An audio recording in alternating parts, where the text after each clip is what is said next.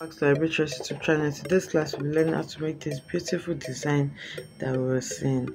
It's a very simple tutorial and it's beginner friendly. If this is something you like to learn, kindly stay tuned to the end of this tutorial. Thank you. Okay, for this design, the first thing you need to note is to know where you're going to be placing this. So have my mannequin like this. So it's going to come from the around the center front area like this and then it goes over the arm and then back to the center back okay? So it doesn't have to be like this. Just note where you want this to be and then you place your tape to measure. So i have around 19 20 inches here. So i'm going to be working with 20 inches for this tutorial. Okay so this is going to be like my foundation fabric. This is just a bridal satin um, you can use any fabric of your choice. So i have 20 inches the 20 inches approximately 20 inches that i measured. This is what i'm going to be using including my seam allowance. And i'm cutting if you want to line this you can line it. And if you don't want to cut i think i'm going to be lining it. So i'm folding it to cut the lining and the main fabric together. So now once i have it like this. I have 20 inches. And then the width of this design from 10 to 12 inches is fine. So i have around 12 and a half inches here. So i'm just going to reduce this so that i can have just around 12 inches. So i'm going to have a fabric of 20 inches by 12 inches. So once i have it you can leave it like this. But i want this to a bit shaped so to shape it i'm just going to fold it like this so that i can have something uniform on both sides. So again i'm going to fold it into four. And i'm going to create like a curve here. Okay. This is actually optional but this is the shape that i want to go for. So once you curve it you open it out you will see that it is no longer straight. You can see that you have curved edges like this. So if you are not okay with the design you can still go ahead and reshape it. So we have this now. The next thing is to bring in our main fabric.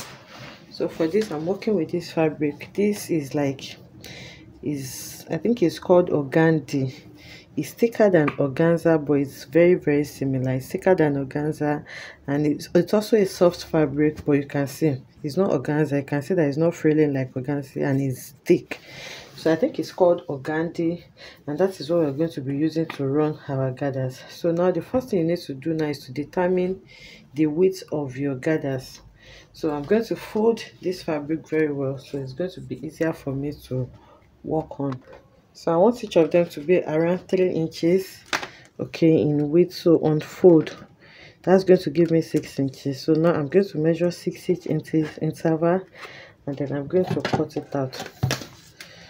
So i'll just you can see that i folded my fabric neatly and i'm measuring six, inches now.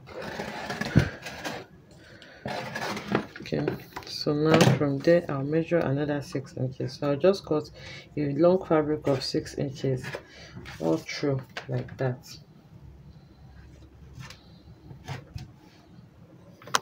Okay so i've gone ahead to cut them now. They are six inches long and it's a long strip of fabric. So now I'm going to fold it into two. So once you fold it you have three inches and then I'm going to run a gather stitch now and gather each of them okay?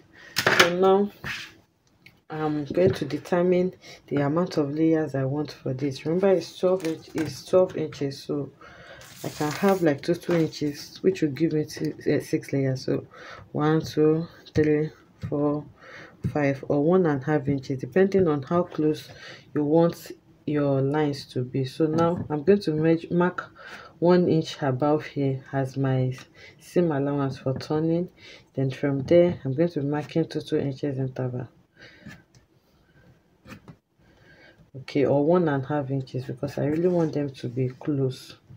So now if i have mark one and a half three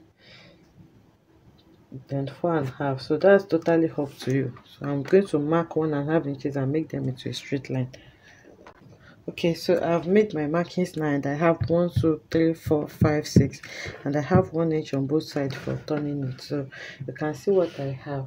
So for neatness you can decide to first sew this and turn it before you gather it. But for this tutorial i'm just going to go ahead now and gather all of them. So i'll gather them and bring it to us to show us how we're going to place it. Okay so i've gone ahead to gather my fabrics and this is what i have. So the beauty of this fabric is that is it acts like organza.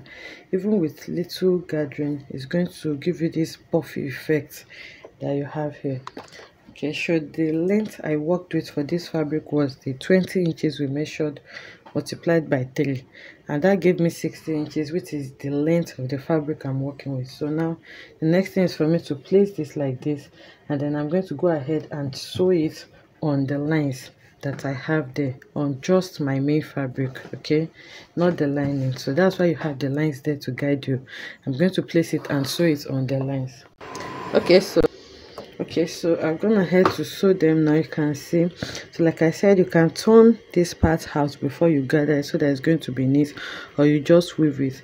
But the secret to this is you just make your intervals very close to each other so that the previous one is going to cover up the rough edges you have on the next one.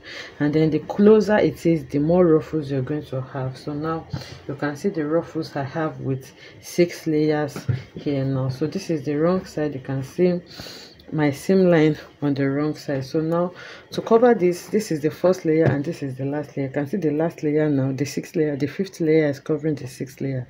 So for us to cover this first layer now i'm going to be working with my lining okay? And this lining is also going to cover all this seam line on the wrong side for me. So what i'm going to do now is to place this lining above it so once you place it over it like this i'm going to match it match it with each other. Because we use them to cut each other it should exactly be the same. So i'm pinning it to guide me. So once it is pinned i'm going to turn it to the wrong side. And then i'm going to sew it on this exact point where I sew this so that I can use that to turn it. So when you're pinning it, you make sure that all your seam allowance is folded towards this upper part so that by the time you sew it it's going to turn out everything neatly for you. So now i'm pinning it in place for it not to shift. So once you pin it and when you're sewing okay you can see the way i sew it. You fold in the first one. The first one you fold it in like this. You can see how i folded it in so that this rough edge is not going to show.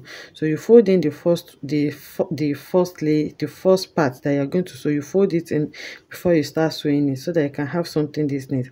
And then you leave allowance for turning with lining on these edges also if you are turning with lining.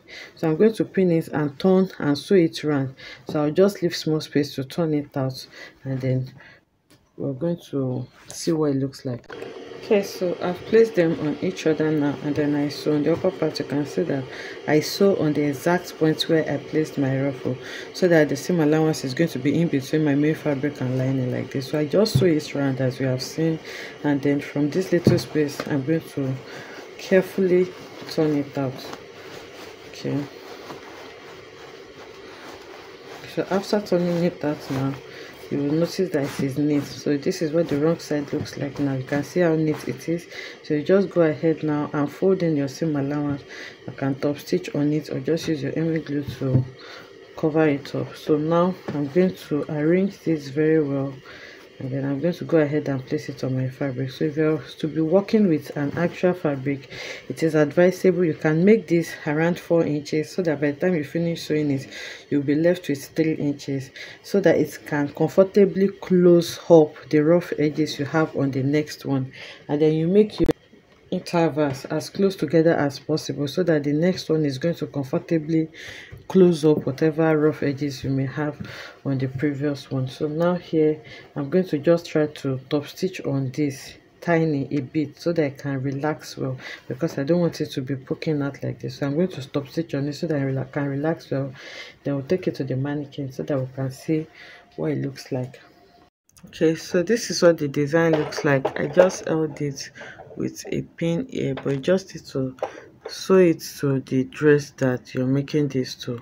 So the logic is to make these pieces close together you can make your design as your fabric as long as possible so that it can completely close up the next one.